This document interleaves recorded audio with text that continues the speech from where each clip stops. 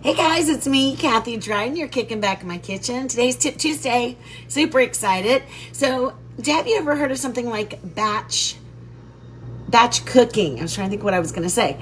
Batch cooking. So, over in my Kicking Back with Kathy group, it is called Dump and Dash Week, which are meals that you can just dump and go into one pot or quick cooker or in the microwave and get them done. Lickety split. So, um, I'm doing batch cooking to make it even easier to um, do it fast, right? If I could just get the words out, that would be awesome. So, what I like to do with batch cooking, and the reason I told you about Kicking Back with Kathy grew is because um, all week I'll be featuring different dump and dash meals. So my group has voted, and if you're not in that group, click visit group. They voted they wanted some slow cooker ones, they wanted some pressure cooker dump and go meals, they wanted um, stove top dump and go meals, and I'm also going to sneak in some microwave ones too, because you know, microwave queen here. So this is what we've got batch cooking. Ground turkey. So if you cook your meats, ground meats all at one time, then you can portion them out and use them for several meals. But you take care of the, the cooking of the meat all at one time. Guess what we're going to use?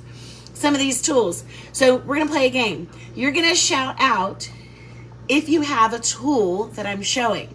And you're just going to say, got, if it's, you know, the mix and chop, if I'm using that, shout it out. Got the mix and chop. Okay, we're just gonna have some fun tonight. It's Tuesday, right? So here we go.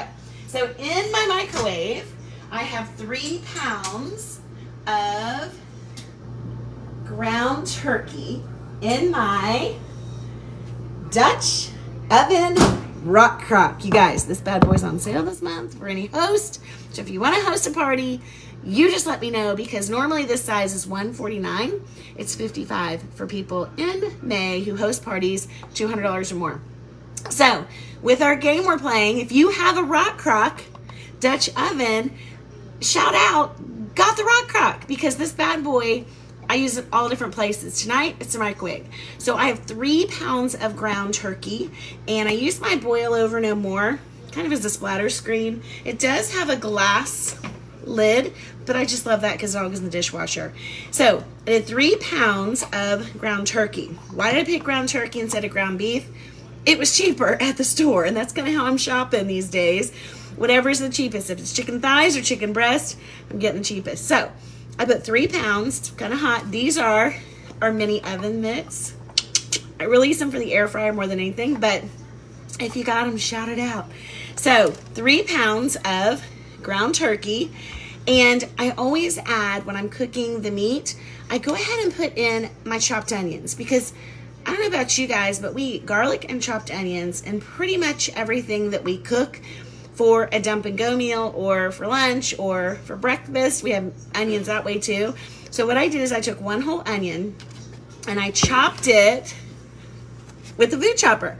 So I took basically what you do, I'm only showing this if you haven't heard of the food chopper, and don't forget, shout it out if you got it. Food chopper, love it. Um, is it just chops. And if you have a really long day at work, you could just sit here and do this for therapy. Some people are very dainty. No, no, no, no. If you want to put half an onion in here, I kind of chop it in chunks, and this is what you do. Number one, it gets frustrations out. Number two, it counts as a workout sometimes.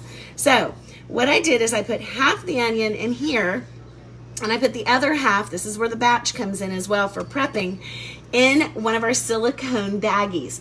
Now, normally I don't put prepped onion in my fridge because what happens? Your ice cubes in the freezer will taste like onion. You guys, this is magical. We have the new sets. I know you guys have seen them a million times. I might do them on tool time this week, but this never oozes out the, the, the smell or scent of an onion.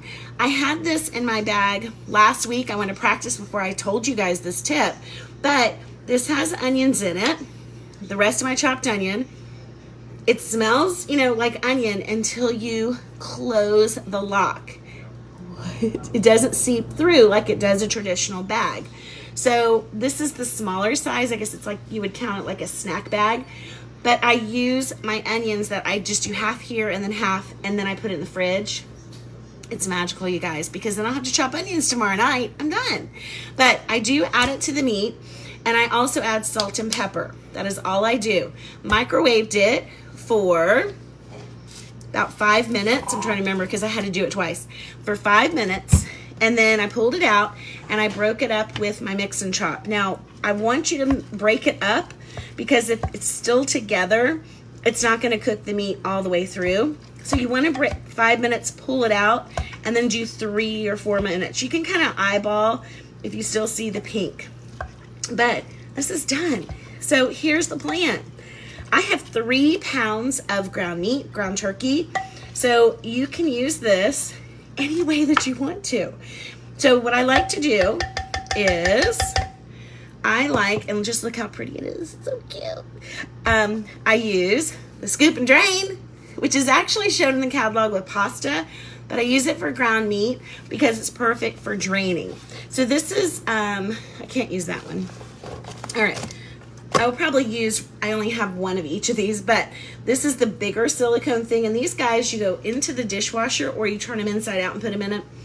Love it. So what I like to do is in freezer bags, if I don't have enough of these, I do one pound in each bag. That's kind of what you would use for a family of four for one meal. Ooh, got a fur ball.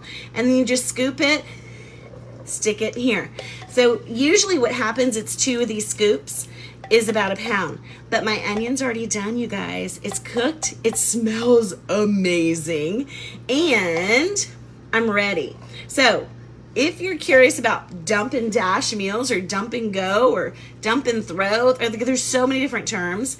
They're just drop in dinners um, that you can put into one pot, one quick cooker, one um, Rockcrok, whatever, and then walk away and go do other things. I love these kind of meals. So this is ready for one meal. You can do tacos, you can do chili, you can do spaghetti.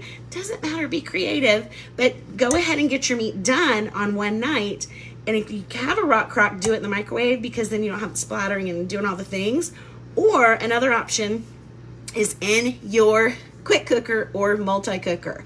You can put the same three pounds and I've actually done that before with it half frozen and put it on the stand that comes inside.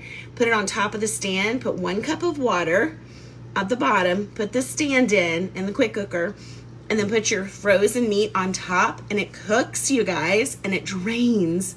And it actually stays a little solid when you do it that way. Um, but it's so easy. But this is faster because it's in the microwave. Okay? All right, that's Tip Time Tuesday. So if you had any of the tools I used, the food chopper, the mix and chop, the scoop and drain, the Rockcrok, or some of you have already gotten these silicone bags and you're so excited, shout out, oh, hang on, and our silicone mitts. Shout out in the comments, um, I got it, and then say what it is you have. I can't wait to see. I love this game. Uh, I do this in some of my parties. And don't forget, speaking of parties, you can earn this bad boy for 55 bucks instead of the full price of 149 because it's our 60% off item for May. And um, a lot of people are booking for these two pieces, this one and the everyday, um, to get it 60% off because they're the bomb diggity. All right, what does Leah say? Love the scoop and drain. And the silicone mitts. Yes! So it really is supposed to be for pasta, but you can do it for whatever you want. Anything you want to scoop and drain that's hot, you can use it.